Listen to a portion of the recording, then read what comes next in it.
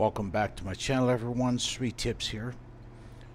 This is uh, about 5.30 on the morning of day two of the silver cell operation.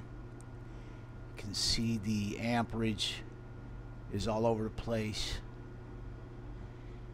And I think that's due to the fact that we've got some irregular and large chunky pieces of impure silver that we're sending in or adding to the anode basket. Those things don't digest well, those bigger pieces. They don't digest well. Here's some smaller ones. That's the size that I really need to be feeding into the anode basket here. You know, what happens is the uh, pieces get stuck on the inside of that Dacron bag and they get held up and suspended in the air and not making good contact with the electrolyte. So what I have to do is keep a close eye on this thing. What we're going to do is pull the anode bar I'm just going to use a metal spoon to kind of knock these crystals down, or the uh, impure silver down into the bag a little better to the anode filter. And what we'll do is add some of these, I guess, some of these smaller pieces. That should fall down through and fill in the gaps a little better so that we maintain a little bit better contact with the electrolyte in there. And I did intentionally put some larger pieces in to try to digest them and get rid of them. So now we should have a little bit better contact up here as you can see the jump the amps have jumped way up. Now let's take a look down inside the silver cell. This is about just under 48 hours worth of crystal growth.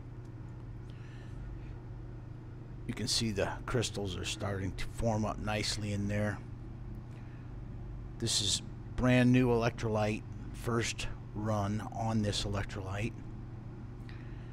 If you remember when I first put this in there it was clear and colorless like water.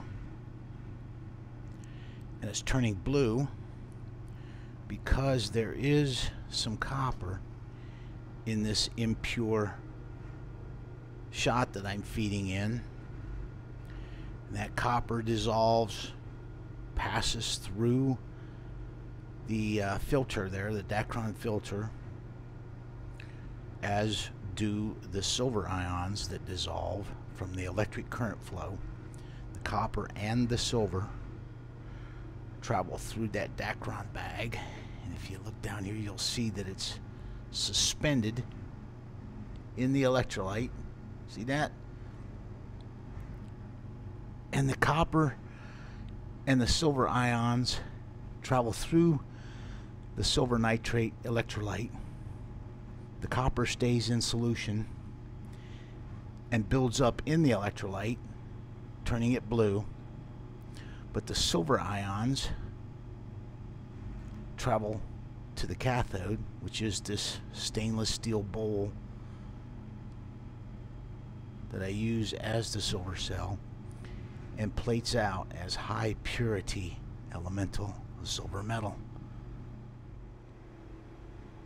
As the cell operates, the electrolyte in here, silver nitrate electrolyte in here, gets depleted because some of the silver ions in the electrolyte played out onto the cathode and the silver nitrate concentration lowers, gets low, as the copper builds up in here, plus the electrolyte will evaporate and the physical level of the electrolyte will begin to decrease.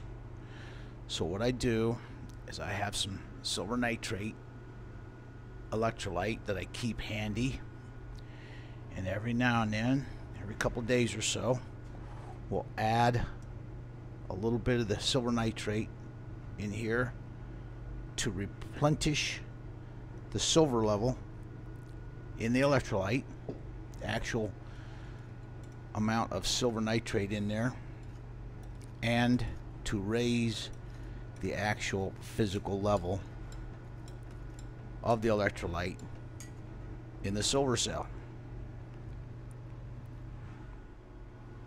This is just under 48 hours in and we've got our silver cell in good condition now. That's the pure silver that's plating out in there on the inside of that cathode.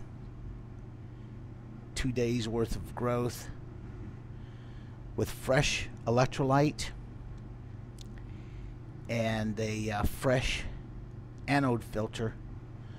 The cell works very efficiently and the crystal growth is rapid. If we keep that voltage at 3.5 volts, then the crystals will grow fat and chunky.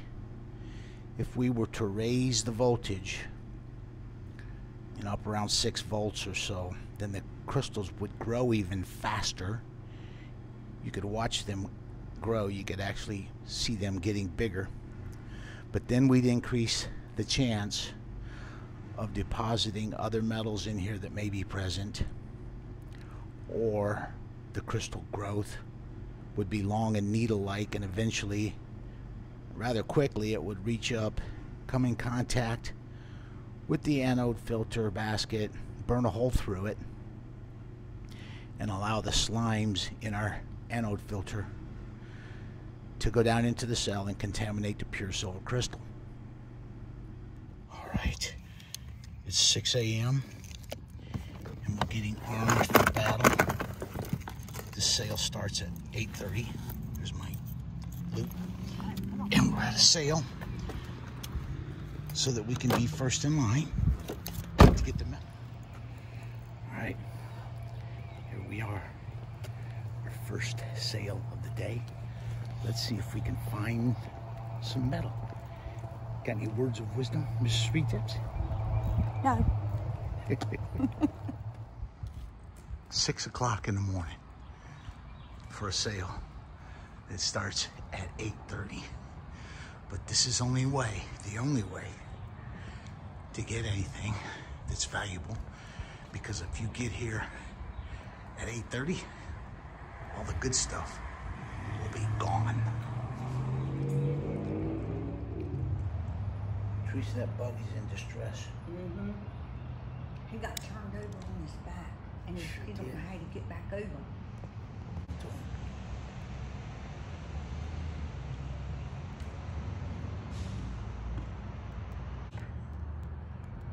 Yeah, he's right side up, Teresa. He's not doing well. No, 'cause he's on his back. He no, he's right side up. Huh? He's right side up. He Oh is. no, he isn't. You're right. He's on his back. He's on his back. Let me see if I can help you. Hold on. What you gonna do? Let's put a piece of paper down here so let me help him over. Come on, buddy. Uh-oh, he laid still. He thought he was in danger.